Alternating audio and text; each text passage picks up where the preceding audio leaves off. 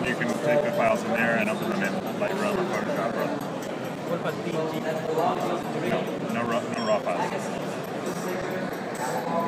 So that's that's one of the limitations. Also, the maximum resolution is 1600 by 1600 pixels. Relatively small. Okay, so I'm going to go. Uh, now I've made this selection. What I want to do is I want to make a soft edge because around the, the hair and the hat I need a soft edge, whereas uh, other parts I might want a, a harder edge. So if I tap up here to access the selection menu, I can choose refine edge. And what it gives me is a tool where I can adjust my brush size, make it small or large, and actually go and draw along the edge. And what it'll tell the software to do is along the area that I'm drawing, I want a softer edge. So now I'm ready, I have my selection. I'm not going to bother about the areas that I didn't quite get. And I want to extract this from the background.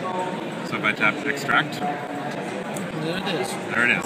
Background is invisible, visible. I've got my layer. Everything is great. Now, what I want to do um, is, it's interesting, but I want to add a little bit more uh, sort of, I don't know, drama to this. Yeah. So I'm going to take this layer and I'm going to add a fade. So I can make it do a fade that goes from opaque to transparent, make basically make her invisible. And as I adjust this here and control where's where's the invisibility going to happen, looks nice.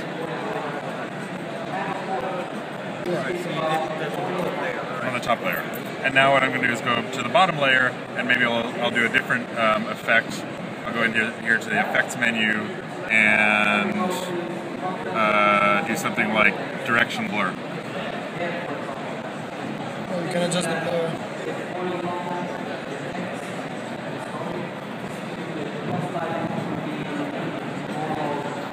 Where do you see the application for this?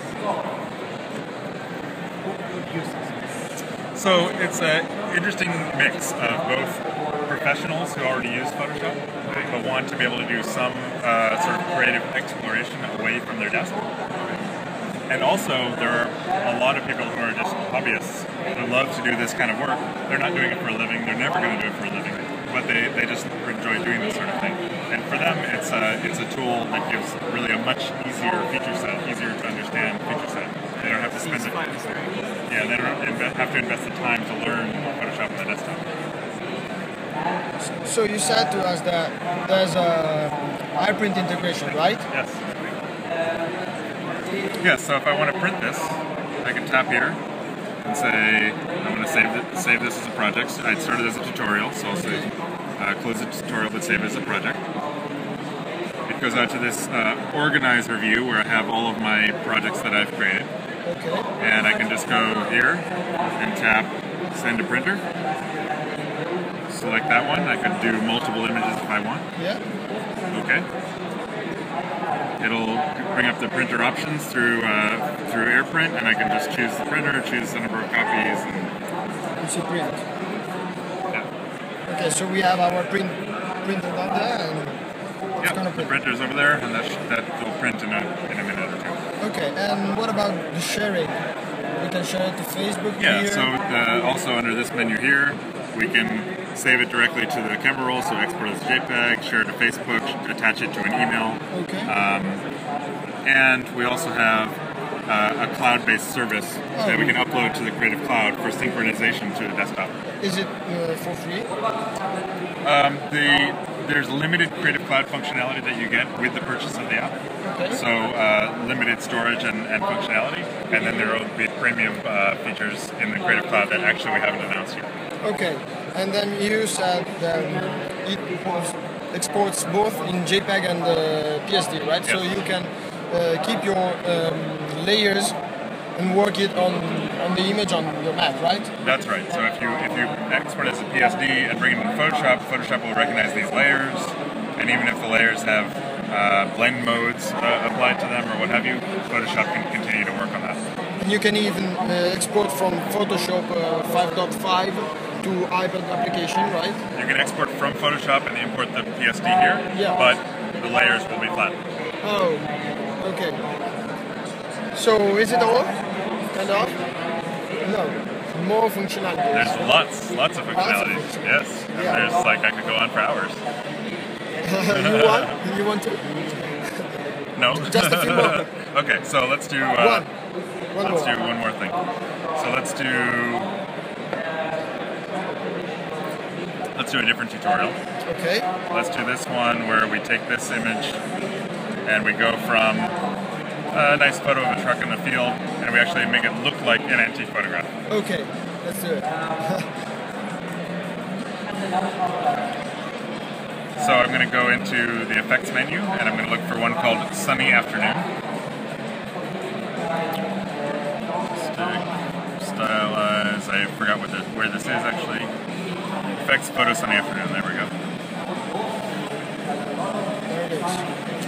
And I'll tap next so I can follow along the uh, tutorial. Set the intensity to about 50%. One of the things that I'll show you is that in addition to the easy to find sliders and such, there's also some precision built into the app. If I tap a field like this, then I can actually enter an exact value. So we have a extra precision level of, uh, of feature set sort of underneath the surface. It looks great for people who want to work on the go. Yes. For example, I always get a train uh, to get university every day, so when I gotta work on this stuff, you know, it could be useful. Okay. So I'm going to do one more effect on this. I'm going to go in here and choose old sepia. So this will make it look like a sepia tone image.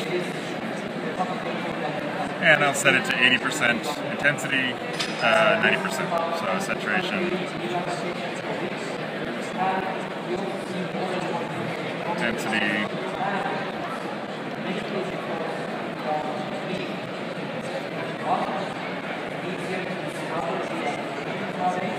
Finally, I'm going to do some level adjustment.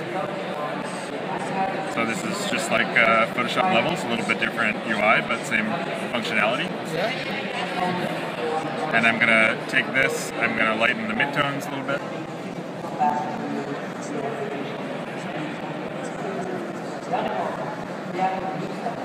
And the tutorial is completed. So I've turned the original photograph into this old sepia tone. It does also, by the way, have uh, 60 levels of undo, so I can step back and also redo.